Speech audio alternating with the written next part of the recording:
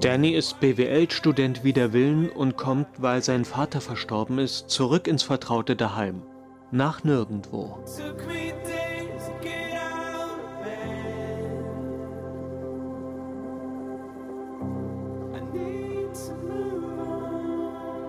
Dies ist augenfällig ein Debütfilm, in dem der Regisseur seine Erinnerungen, Befürchtungen und Hoffnungen abgearbeitet hat.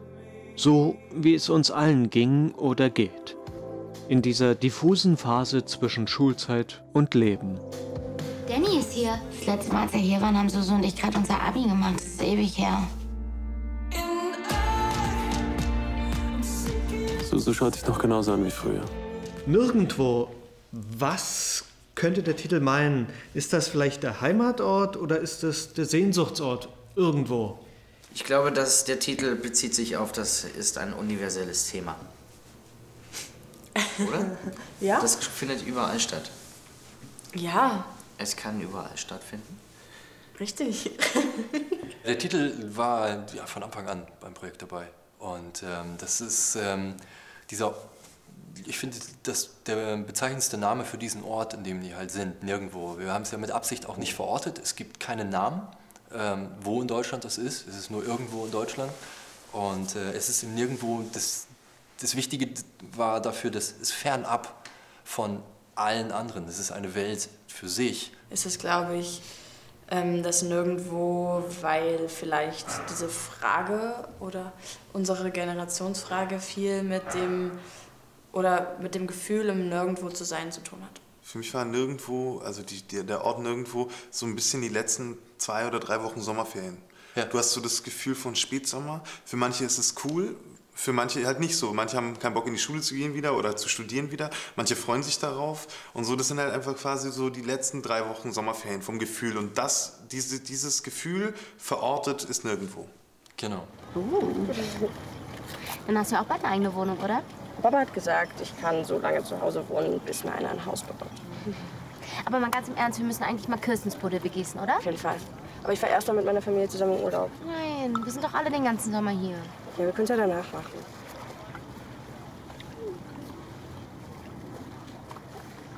Kirsten kommt. Mit Danny. Sag einfach rein. Hey. Hey, Misha. Danke. Selbst? Ja, passt. Schön, dich zu sehen. Kirsten. Ist das Feuerwerk dabei? Ja klar, wie immer. Hast du ein Bier mitgebracht? Ich hab einen Wein. Der ist gut. Ah, der ist voll kalt. Ich da.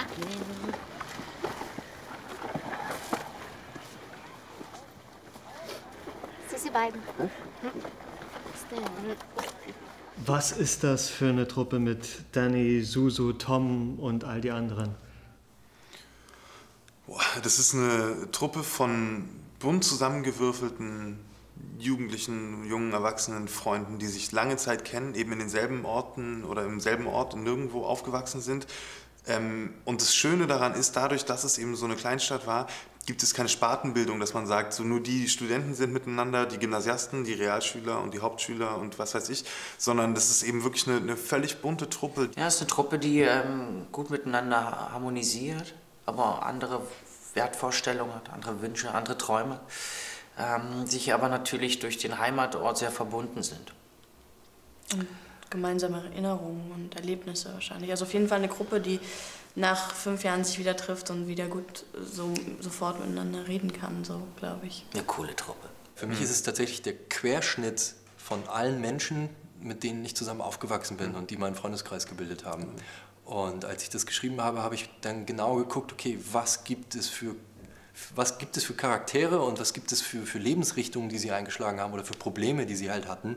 Und die habe ich dann äh, auf diese sieben Figuren verteilt. Boah, du mal ein bisschen Ja, genau. Und jetzt drehst du einfach am Gucken. Nein, die Hand runter, die Hand runter. Kannst du. Ich hab Danny bald so weit, dass er Fotos von mir macht. So tolle, wie er von dir gemacht hat.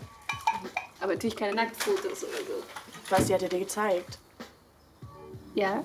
Oh, Jetzt komm, du siehst so heiß aus. Muss dir echt nicht peinlich sein. Das hat er auch immer gesagt. Du siehst nackt so toll aus und damit hat er mich immer rumgekriegt. Naja, das sagen sie alle und dann lässt du sie an deine Mumu. Hilft Sex, die allgemeine Unsicherheit dieses Alters zu regulieren? Das ist ja eine Frage. Kannst du die nochmal stellen? Hilft Sex, die allgemeine Unsicherheit dieses Alters zu regulieren? Ja. Ja, natürlich. Ja? Klar. Klar? Erklär. Du meinst Sex im Sinne von Vögeln, oder? Ja, ja. genau. Ähm, also, ähm, also was heißt, also du bist natürlich dadurch, dass du äh, mit am besten deiner großen Liebe oder Freundin Sex hast, hast du natürlich auch eine Art von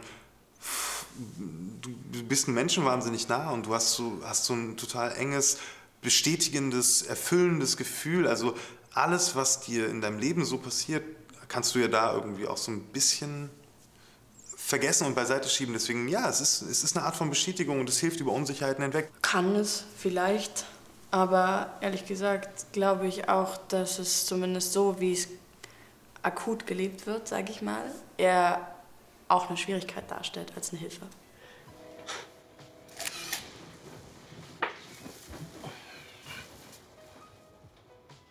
Eigentlich will Danny Fotograf werden. Und eigentlich liebt er auch seine Ex-Freundin Suso immer noch.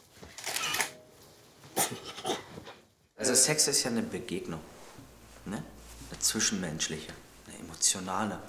Und es kommt es darauf an, was für eine Art von Sex. Also Sex ist ja eine Intimität hm, zwischen zwei Menschen. Ähm, und deswegen kann sie, es kommt auch darauf an, welche Unsicherheit du damit ähm, äh, ähm, verdecken willst.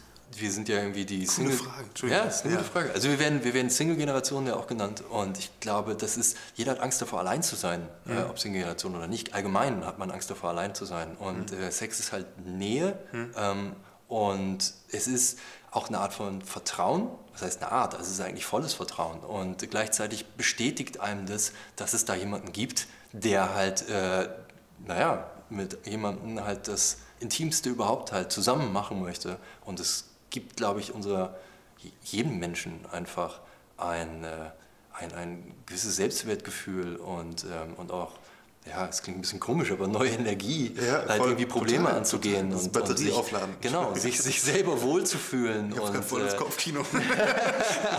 Ich finde das echt Weiß eine schwierige. Frage, aber ich glaube, ja, es Deswegen, ist ich so. habe mich jetzt voll verrannt. Ich müsste drüber nachdenken. Ich könnte jetzt auch eine Stunde darüber Wollte ich gerade sagen, wir können länger darüber reden, definitiv. Aber ja, ich glaube, wie jeder Generation oder jedem Menschen, es hilft auch unsere Generation einfach. Und ähm, ja, muss sein. Therapie hier. Wie, als hätten, als hätten wir, würden wir hier gerade Paartherapie machen. Wir beide. Passt aber auch zu Suso und Danny. Das hätten wir mal. Für die Frage hätten sie uns stellen sollen während der Dreharbeiten.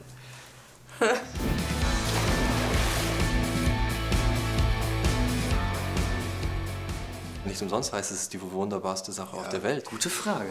Okay.